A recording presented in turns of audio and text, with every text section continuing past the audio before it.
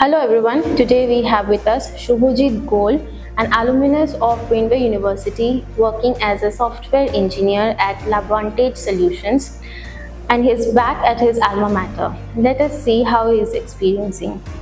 Hello, Hi, welcome back to Brainware. How are you feeling here? I'm very excited that I'm coming here. Thank you for inviting me for such a great session. From your uh, college life to corporate life, how was the transition? Okay, as basically in our college life, uh, we are going college and learn what is the like a book things we learn. But in our corporate life, you get a responsible person in your life. Like uh, you need to learn such a such much as possible as you want.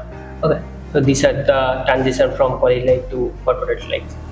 Okay, and uh, you attended a lot of uh, seminars and workshops in Brainware, right? Yeah. So, how does it feel to be on the other side today? Okay, so to be honest, I'm very like a uh, I'm coming here today like after passing my BTech from Brainware. Okay.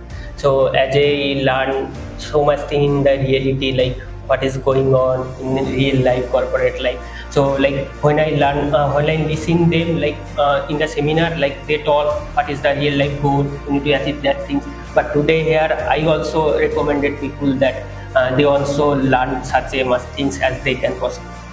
How was your life at Brainware? yeah to be honest i am like a crazy person sorry i am lazy person okay so like i not attended too much college in our in college season okay so i just uh, coming here to uh, go ahead with the lab work and all the things so this is the like you know in my brain And how was your interaction with the professors? I, yeah uh, like um, i have a good relationship with uh, all the professors okay so they provide us such a materials and all the things so this is very helpful for me So, this was quite helpful for your placements as Yes. well. How was the placement procedure? Okay, so placement procedure, as to be honest, like college give us such a more company as well as the interactive session and seminar as well as the uh, soft skill classes, aptitude classes. So these are the basic things uh, as company needed for the first uh, view. Okay, so as a uh, freshers, you not need to learn all the things. You need to learn the basic things. So these are all the provided by this college. Okay, so this helped me to crack my interviews.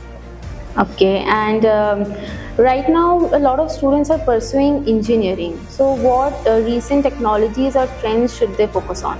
Okay, so basically, to be honest, they need to learn the basic things such as a going forward the language and learn all the things. Okay, and going forward to the company, company will provide them all the things like you need to learn this framework or this language. So these are all the things. Thank you for joining us. Thank you.